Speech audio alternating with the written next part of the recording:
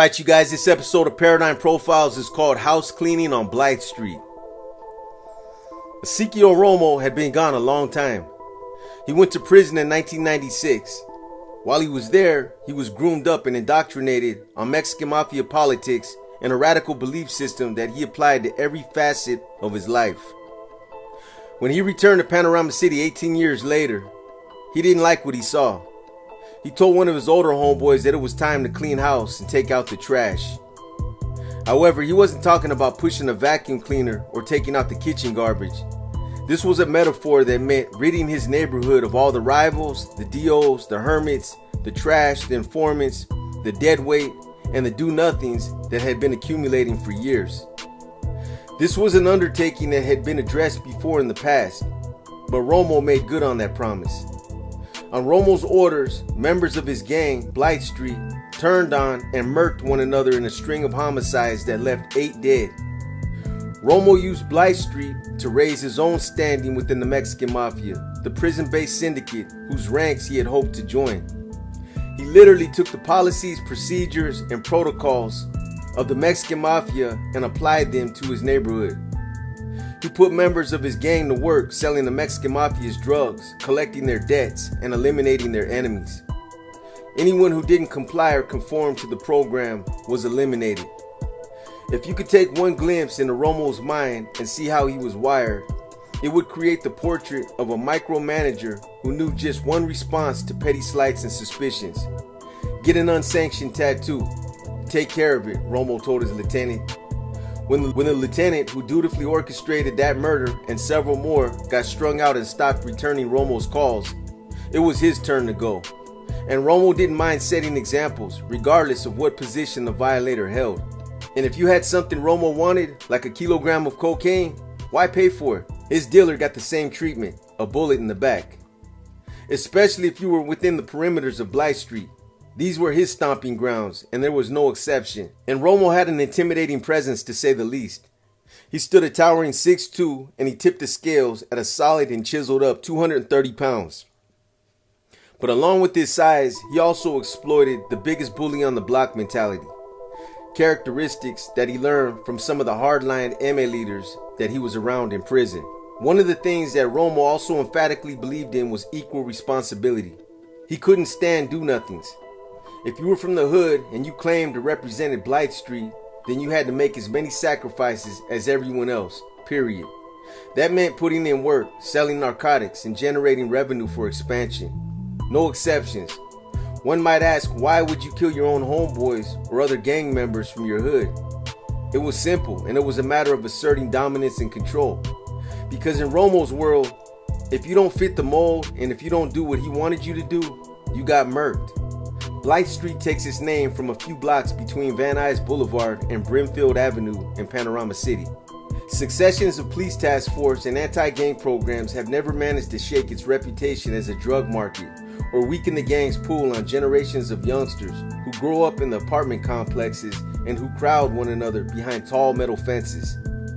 Members of Blythe Street tend to use the same word to describe the gang. You feel like it's family, the gang literally adopts all the concepts of family and it's one big unit.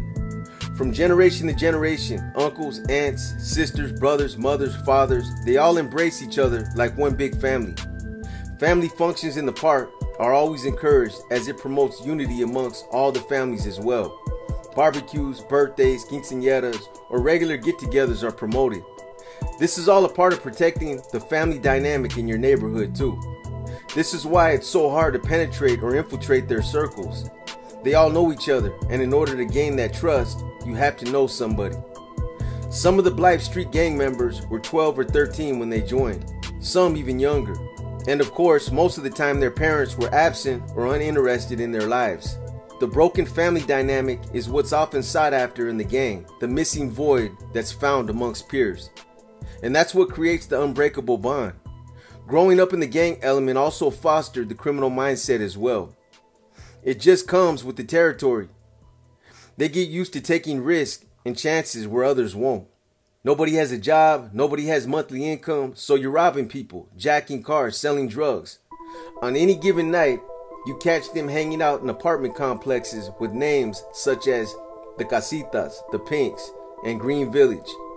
They locked themselves inside the laundry rooms to smoke methamphetamine, squat in vacant apartments, sell drugs in the parking lot, etc., etc. If a carload of rivals from gangs such as Columbus Street or Barrio Van Nuys pulled up, members of Blythe Street vanished into the warren of hallways and stairwells. The night air crackled with the anticipation that gunfire might erupt from any oncoming car. But this was now Romo's domain, the street, the gang, the money to be wrung from the pushers and dispensaries and gambling parlors that operated within the gang's territory. All I ask is for complete control of Panorama City, he wrote in 2017 in a WhatsApp message from prison to an underling on the streets. But Romo's lawyer, producing letters from his client's family, neighbors, and a former teacher, pleaded with the judge not to write the young man off. I think that he's worth saving, Judge. That's all I can say. Sentenced to 10 years for manslaughter, Romo would do 18 after being convicted of a 2007 assault on another inmate. When he got out in late 2014, Romo met with another older homeboy of Blythe Street who testified at his trial in hopes of reducing a sentence for drug trafficking. In prison, Romo had worked under the Mexican Mafia. Blythe Street never had much to do with the group, whose members were locked up in distant penitentiaries. But Romo changed all that. He brought it back to his neighborhood. The extent of their involvement was paying taxes, a few hundred dollars a month, which Blythe Street came up by extorting Mexican nationals who sold crack and heroin in Panorama City. They just squeezed the paisas for that money. Some of the older Blythe Street gang members say they remember a time when it was really just about the hood. It was about the neighborhood. It was about Blythe Street. They didn't have much to do with Mexican Mafia politics. But Romo envisioned something different. The Mexican Mafia needed feet on the ground to realize schemes hatched from prison, and he had the manpower. Working for three Mexican Mafia members, Frank Playboy Fernandez, Raul Weddle Smooth Garcia, and Jose Cartoon Loza, Blythe Street collected debts, moved drugs, and muscled in on those who needed persuading. Romo's thing was making things right for the MA, doing bottles for them, taking care of people in the county jail. It sounded good, but a lot of violence came with all that. First, Romo needed to get his own house in order. He intended to purge the gang of dirty homeboys, informants, addicts, and dissenters. The charlatans and deadweight who often poisoned the younger homeboys and who spoke the gospel against the MA. Blythe Street gang members started turning up dead around 2015. After Romo had put all his players in position and was ready to start setting examples and he knew the Mexican mafia was watching. Rumors flew that they had not been killed by rivals, but that was just a smokescreen. Everybody knew the truth, but nobody spoke on it. No one went looking for revenge or tattooed the names of their dead on their bodies, because they were the ones who knocked them down themselves. The funerals and the car washes put on to fund them were sparsely attended, some because of guilt and others because they were despised by them. The red flag should have been obvious a kilo of cocaine, a setup. In a gray apartment complex off Blythe Street, a dealer called Chaparro, Shorty, rented three units one for his family, one for a girlfriend, and one where he cooked his dope. It was a safe house. Chaparro paid Romo every month for the privilege of selling it, but after he got raided and busted and caught a dope case, Chaparro fled to Mexico. Romo then arranged to buy a kilogram of cocaine from Chaparro's supplier, a Mexican national whom was only known as the Paisa. His name was Felipe Delgado. Romo took the cocaine, promising to return with the money in a week, and the Paisa trusted him based off of his relationship with Chaparro. Then Romo started spreading word that Delgado was an informant, and of course, nobody doubted or questioned the story. Romo wanted to murk him because supposedly he was a rat, but at the same time, he had taken a kilo of cocaine. It was just a dirty way of getting rid of him without paying him back. These are the type of dirty cutthroat politics the Mexican mafia devised all the time. And he kept that money. He never had no intention of paying. He kept it all for himself. Because Romo was on parole, he had a GPS monitor on his ankle. So Romo arranged for a young member of Blythe Street, Stephen Youngster Mendoza, to murk the Paisa. The plan was for Romo to meet Youngster behind Chaparro's apartment complex. Romo would announce he was getting the money.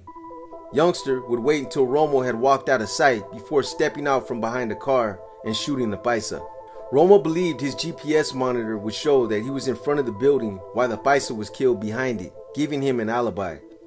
The plan seemed plausible in his mind. However, putting himself in that close proximity would end up backfiring on him. To establish his own alibi, he went to his son's football game at Panorama High School. At 5:30 p.m. on November 6, 2015, the Paisa was shot 3 times in the back behind Chaparro's apartment complex. After the police helicopter could be seen flying over the football stadium, he knew where it was headed. And in his mind, this was confirmation that the hit had happened. Youngster was charged in the same case as Romo, but is yet to go to trial. Youngster has pleaded not guilty to murdering the Paisa. Two months after the Paisa's death, Romo was arrested with half a kilogram of methamphetamine in his car. He pleaded guilty and was shipped off to the Imperial County Desert to serve a four year term at Centinela State Prison. Ironically, Centinela would just so happen become the corporate headquarters for Blythe Street. There, Romo had access to cell phones smuggled in by staff or dropped inside the walls using drones. A fellow Blythe Street member who kept Romo abreast and updated on the neighborhood, also kept him up to speed about the matter of Isidro Topo Alba. Once a leader of Blythe Street himself, Topo was by then living out of his car, carving out a living by peddling methamphetamine and shaking down other dealers. He was out there playing a dangerous game, jacking other street dealers under the cloak of the M. He said he was collecting the money on behalf of Mexican Mafia members in federal prison but this seemed fishy, especially when it came to light that one of the M members Topo claimed to be working for was actually deceased. Romo had warned Topo to stay out of Panorama City, but after he returned to prison, Topo started coming around again. A liquor store owner was complaining about being extorted. Cartoon, one of the Mexican Mafia members aligned with Romo, was facing trial on charges of gunning down another member, Dominic Solo Gonzalez. Topo had claimed to work for Solo. To bolster Cartoon's claim of self-defense, Romo wanted Topo to testify that Solo was violent. He recalled that Topo refused to jump in the hot chair, saying, That sounds more like telling to me. The night of August 27, 2017, Topo was waiting outside of a Target in Van Nuys for a customer who wanted to trade his cell phone for methamphetamine. Sitting beside him in his Dodge Avenger Topo's girlfriend noticed a black sedan driving past several times. Topo hesitated. Do you think this is a setup? Just hurry the fluck up, she told him, handing him the drugs from the glove box. Topo got out. The next thing she heard were shots. She saw Topo running back to the car, chased by two men in hooded sweatshirts. She identified them as Juan Flaco Ramirez and Yordine Little Goofy and both members of Blythe Street. Flaco, whom she had known for years, was standing outside her window when he opened fire at point blank range. When the gunfire stopped and the shooters had fled, she ran into the street, raising both hands to flag down an oncoming car, according to a video played in court. Too late, she recognized the black sedan. Flaco and Little Goofy stepped out along with the third man and shot at her again, she testified. She ran back to the car, laid down in the seat, and played dead. Topo was dead. He never had a chance to grab the 38 from the glove box. Little Goofy and Flaco have pleaded not guilty to murdering Topo and attempting to murder his girlfriend. They have yet to go to trial. This is not a game. Another man was in the black sedan that night. His name was Oscar Molina, but he went by Smokey. After Romo returned to prison, Smokey, a stocky Blythe Street veteran, became his right hand man. You need feed out here, Smokey wrote to Romo on WhatsApp. Can't be in two places at once. If not, you probably would. Hundreds of messages exchanged between the two illustrated their relationship. Romo, the demanding boss, Smokey, the funny middle manager. On Christmas Eve 2017, Smokey typed out a long message. Don't let nothing change you, G. You're one of the few that I consider a good homie, a good camarada. So with that said, just know your boy will always be loyal and will always have your back as long as I'm around. Gracias for your words, Romo wrote back. They are a gift I accept more than money or shiny objects. The crimes that Romo and Smokey discussed span the state's penal code collecting money from gambling parlors, extorting dispensaries, buying weapons at gun shows with fake IDs, obtaining drugs in Mexico and trafficking them out of state, killing an informant within Blythe Street. The messages reveal Romo's view of his gang, an empire, himself a general, and his management style, some say I'm too hands on. This was self flattery at its best. But the one accolade that he obviously forgot was being security conscious. Because when his cell phone was confiscated during a routine search, he apparently didn't take the time out to delete all his old messages. And this was a costly mistake. Among the witnesses at Romo's trial was a man who considered Smokey an uncle, even if they weren't related by blood. Identified in the court records as witness 2, he was the beneficiary of a remarkably lenient deal six years in custody for two murders, four years of which he will be allowed to serve under house arrest. Witness 2 testified that he and Smokey spoke with Romo over FaceTime almost every day, huddling in the bathroom of Smokey's apartment. During one meeting, Smokey told Romo that Carlos Rios, a Blythe Street hanger-on, had gotten a tattoo without being jumped in, inducted through a beating. Nobody can have a B on his face without earning it, Romo said, according to Witness 2. This is not a game. He told Smokey to take care of Rios, Witness 2 testified, although he acknowledged Romo did not explicitly say to kill him. However, when you're out there dropping bodies and it hasn't been your standard to administer a beatdown, it's obvious what was indicated. Rios had grown up in the gang's territory and attended Panorama High School until the 11th grade, when he was caught stealing a skateboard and sent to youth camp, said his sister, who declined to be named. She described Rios as a quiet kid very private, who kept his family and friends separate. She recalled the day her brother came home after a 10 month stretch in county jail with a B tattooed on his left cheek. I was very upset, she said. Even before he went to jail, he'd been claiming to be part of the gang. She doubted it. That was a Wednesday. By Sunday morning, he was dead. The jury heard the following account of his death from witness 2 and one of the shooters, Santos Raider Martinez, who bragged to his cellmate in a recorded sting. Romo was mad that Panorama City was hot, that the block was burning up, and had drawn the ire of the police. So Smokey, Raider, and his brother, Neftali Martinez, drove Rios to Van Nuys, telling him that they were going to graffiti a rival neighborhood. Rios started spray painting BST, Panorama City, Blythe Street, Raider told his cellmate. I tell him, keep on tagging. While he's tagging, I dome the idiot, meaning he shot him in the back of the head. But Rios was alive, even though Raider had emptied his gun's magazine into the 21 year old. So Neftali Martinez got out of the car, witness 2 testified, and finished him off. Prosecutors also charged Romo in the murders of three people killed in the long running feud between the Blythe Street and Columbus Street gangs, arguing their deaths ensured he retained control of Panorama City's drug trade. The night of November 17, 2017, Alexis Saldana, pulled onto Blythe Street with three other members of Columbus Street in his car, yelling, Fuck burros, Raider told his cellmate. Burro, Spanish for donkey, is a derogatory term for Blythe Street. Raider said he chased them to a Wendy's where he took this fool out. Shot in the back of the head, Saldana stepped on the gas and crashed into the restaurant. A month later, James Smiley Rodriguez, a Columbus Street gang member whom Smokey had warned to stay out of Panorama City, was shot to death outside of Denny's where witness two's wife waited tables. She testified that after the shooting, Raider told her, Pobre pendejo, had been killed too. A poor bastard. Elvis Sanchez had been sitting next to Smiley on a bus when the shooting started. The 31 year old delivery man who had nothing to do with gangs died on the sidewalk. Two more calabazas down, Smokey wrote to Romo the next day, using an insulting term for Columbus Street. Everything worked out perfecto once again, and Smiley was one of them. Good to know, Romo wrote. Gracias, be safe. Hood, God, then family. According to Witness 2, Smokey had taken part in five murders.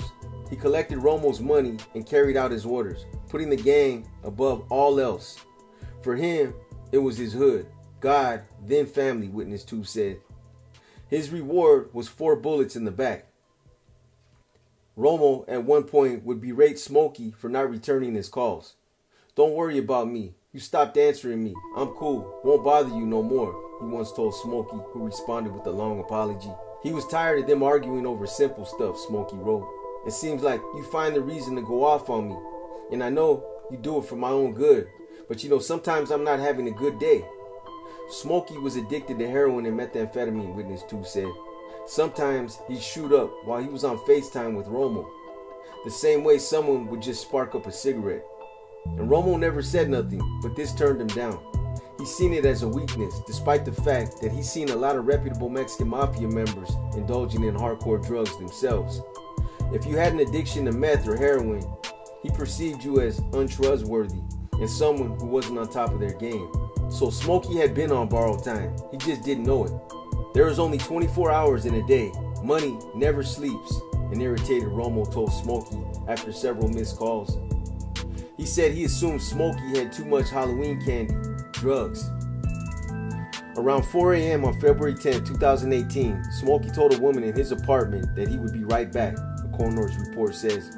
He tucked a revolver in his waistband, stepped out, and was shot in the doorway by his longtime friend, Eder Mendoza. Another Blythe Street gang member, Lorenzo Gonzalez, allegedly acted as the lookout. Witness 2 testified that Romo told him Smokey was killed because he'd owed people money. He'd been caught lying and he was getting way, way too high. But in all actuality, it all came down to Romo not liking the fact that Smokey had challenged and undermined him one too many times. Not only that, but Romo also took insubordination on any level as an affront to his own ego. Twelve days later, Mendoza and Gonzalez picked up Karen Tobar in an unlicensed taxi called a bandit cab. Tobar was the woman who had been in Smokey's apartment the night he was killed. Her body was found in a Sylmar Park the next morning, stabbed 60 times. They took her for a one way walk into that park because they obviously believed she was going to tell the cops what she knew about Smokey's demise. In fact, word on the streets was that she might have already talked to investigators who were asking questions. And despite the mounting evidence against them both, they pled not guilty to charges of murdering Smokey and Tobar. In his closing argument in the ninth floor courtroom of the downtown criminal courts building, Romo's attorney, Jerome Haig, said the prosecution's witnesses were lying when they cast him as this big leader of this gang who micromanages everyone. He emphatically tried downplaying Romo and his role as just another small time gang member wannabe who was trying to run his neighborhood like a military based boot camp. Haig painted a picture of Romo as a substandard gangbanger who went to prison and became fixated and consumed with how the Mexican mafia operated. From the start of their investigation, he argued, the police wanted to tie every gang killing in Panorama City to Romo, no matter how thin the evidence. Unfortunately for Romo, the jurors didn't buy it. After deliberating for nine days, they not only convicted Romo of the murders he was alleged to have ordered, but they also found him liable for the killings of Columbus Street gang members. He faces life in prison without parole. After the verdict, Haig took the view that Romo was trying to make the gang more powerful as an enterprise, not as far as killing people. He noted that Romo's messages with Smokey discussed selling drugs, acquiring guns, and making money but none of the murders he was said to have ordered. Making that argument to the jury, though, was a difficult needle to thread. I tried to make the jury think and think hard about their obligations, Haig would later say. And I think they did, even if they didn't come back our way. Raider, who fell asleep as his attorney pleaded with the jury to acquit him, was convicted of the four murders.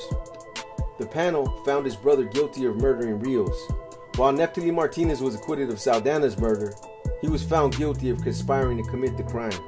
William Smokes Benitez, who looked like the third participant in Topo's shooting, according to Topo's girlfriend, was acquitted of that murder. The jury hung 9 to 3 in favor of acquittal on the charge that Smokes, along with Raider, murdered Smiley and Sanchez outside the Denny's, said his lawyer Joel Corey. Smokes was nonetheless convicted of conspiring to commit those murders, meaning he faces 50 years to life in prison, Corey said.